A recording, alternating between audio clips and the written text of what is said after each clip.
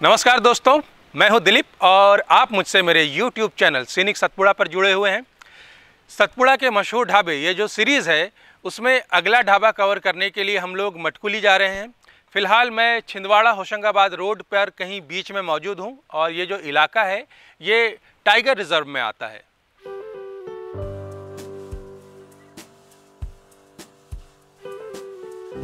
परासिया से मटकुली जाने के रास्ते पर कमाल के नज़ारे मिलते हैं। हम जैसे जैसे आगे बढ़ते जाते हैं, लगता है कि मानो जन्नत के दरवाजे खुलते जा रहे हो।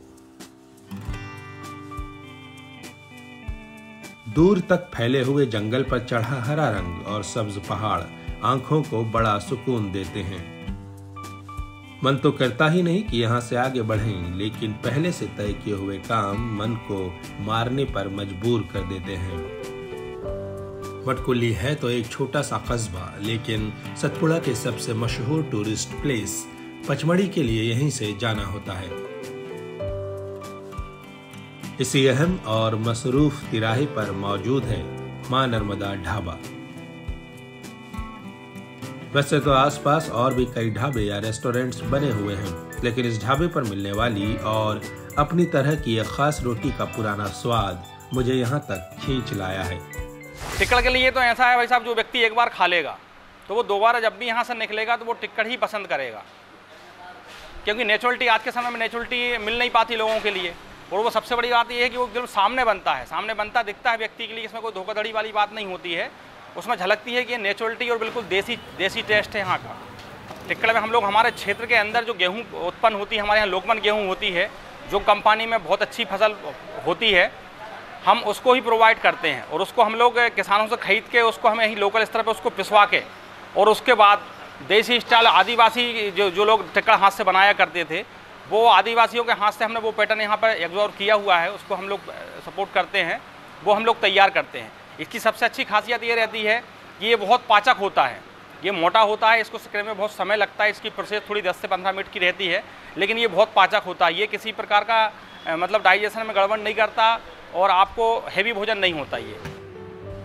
जब आप तिक्कड़ की इतनी तारीफ़ सुन ही चुके हैं तो फिर ये भी देख लीजिए कि इसे बनाते कैसे हैं।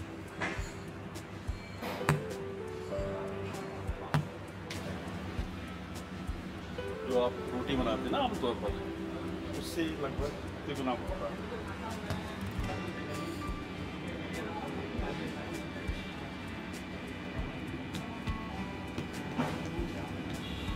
ये आपका टिक्कड़ तैयार होगा इसको बराबर रखना है। मोटा भी नहीं चाहिए, पतला भी नहीं होना चाहिए। चारों तरफ़ सेम कोशिश करते हैं। अब आपने इसको सेकने के लिए तवा में डाल ये बटन अपन इसलिए यूज़ करते हैं ताकि अपने हाथ में वो चिपके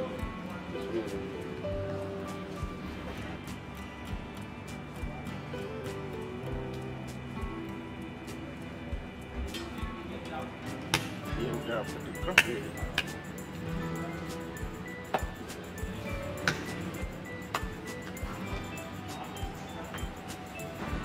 अब जब तक ये कंप्लीट सीख नहीं जाता, तब तक आप उसको पलट नहीं सकते। जब एक तरफ़ बिल्कुल कंप्लीट सीख जाएगा तब आप दूसरी तरफ़ पलटेंगे क्योंकि ये मोटा होता है, इसको सीखने में टाइम नहीं लगता।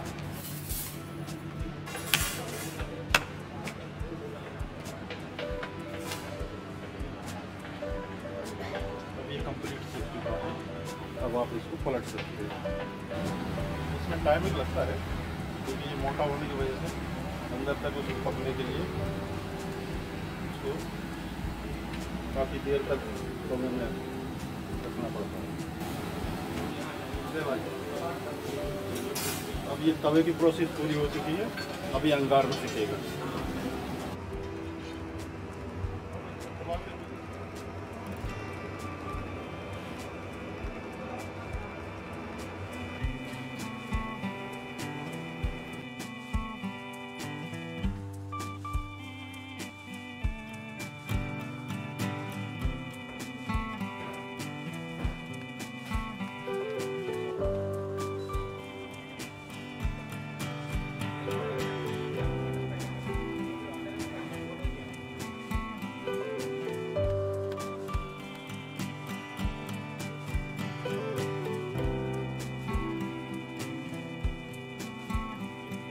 इसी खास रोटी या कहें कि तिक्कड़ का स्वाद दूर दूर के भोजन प्रेमियों को यहाँ तक खींच लाता है। इसकी महकते लज्जत और सौंधापन ऐसा है कि जिस किसी ने इसे एक दफ़ा चख लिया, वो बार बार इसका जायका लेने आ पहुँचता है। सिर्फ़ तिक्कड़ ही नहीं, इस ढाबे पर बनने वाली सब्जियों के भी अपने शैदाई हैं। चाहे पहली दफ़ा आए हुए लोग हों या बार बार यहाँ आने वाले। वेज खाने के सारे शौकीन नर्मदा ढाबे के मुरीद हैं। फ़र्स्ट टाइम हमने विज़िट किया इस रेस्टोरेंट पर। पहली बार में हमको खाने में बहुत मज़ा आया। टेस्ट भी अच्छा था और फ्रेशनेस लगा हमको। भाई पंचबड़ी आने वाले जितने भी टूरिस्ट हैं मैं सभी से ये कहना चाहूँगा अगर घर बाहर भी आप घर जैसा खाना पसंद करते हैं तो इससे बेस्ट ढाबा आपको कहीं भी नहीं मिल सकता। एकदम घर जैसी क्वालिटी है बिल्कुल फ्रेश खाना है। कोई भी पंचमढ़ी आना चाहता है तो बजट में बहुत ही अच्छा खाना मिलेगा यहाँ पे। ज़्यादा कर सेव टमाटर तो काफ़ी अच्छा है। किसी भी ग्राहक को जो डिश लगाते हैं जब तक वो व्यक्ति संतुष्ट नहीं हो जाता है तब तक हम उसको पहले हम लोग पहले पूछते हैं कि आप हमने आपको जो भोजन दिया जो टेस्ट दिया वो कैसा है? अगर वो किसी चीज़ में बाई चांस किसी में अगर कोई मिस्टेक निकल जाती तो हम उसको चेंज करके और उसका हम पैसा नहीं लेते, उसके बदले हम दूसरी चीज़ उनको दे देते हैं। हमारे ग्राहक की संतुष्टि ही हमारा सबसे बड़ी लगन मेहनत है। टिक्कड़ के तैयार होते ही मुझे और मेरी टीम को भूख लगाई थी, लेकिन हमें अभी थोड़ा और इंतज़ार करना था, क्योंकि खास हमारे लिए तैयार हो रही थी एक वेरी वेरी स्पेशल डिश जिसका मैंने इससे पहले सिर्फ़ नाम ही सुना था, चखा कभी भी नहीं, पनीर रजियाला।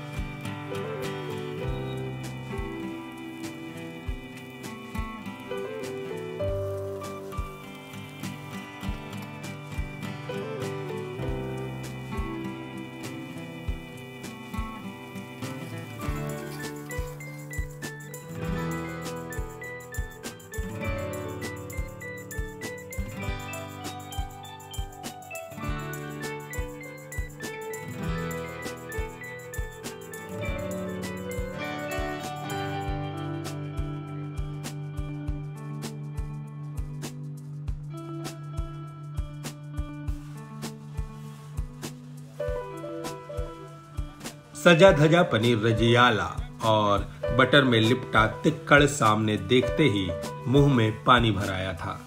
भूख, जो कि पहले से ही जोरों पर थी, अब मेरी बर्दाश्त के बाहर हो चली थी। मैंने झट से खाना अपनी प्लेट में डालना शुरू कर दिया। दोस्तों, ये जो है, ये है पनीर रजियाली। मैंने पहले सिर्फ़ इसका नाम सुना था टेस्ट अभी तक किया नहीं है इसे कभी। और मैं यहाँ जब नर्मदा ढाबा आया तो मेरा वेज खाने का कुछ मन था। और जब मुझे बताया गया कि यहाँ का स्पेशल जो है, वो पनीर रजियाली है तो मैंने ये ऑर्डर किया।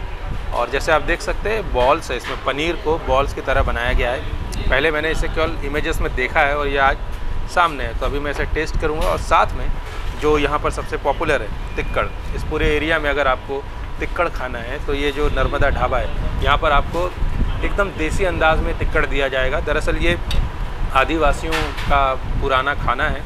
मोटा अनाज होता है एक तरह का, गेहूँ को मोटा पिसा जाता है और काफ़ी लंबी प्रोसेस होती है इसे। एक तिक्कड़ बनाने में 10 से 15 मिनट कम से कम लगते हैं, सेकने में भी बहुत टाइम लगता है और आटा जो है उसे गूँथ के रखा जाता है। तो इसे हम टेस्ट करते हैं पहले। ये आप देख सकते हैं, आटा कितना मोटा है इसका टेक्स्चर ये परत एकदम कुरकुरी सा एकदम कुरकुरा है, थोड़ा हार्ड है और अंदर एकदम नरम, इसका टेक्सचर आप देख सकते हैं ये। कितना मोटा है। मान के चलिए एक जो चपाती हम खाते हैं, ये उससे चार या पाँच गुना ज़्यादा है। चार या पाँच चपातियों को मिलकर एक तिक्कड़ बनता है। और ये खाने में काफ़ी क्रंची भी होता है और अंदर से नरम होता है। तो इसे टेस्ट करते हैं।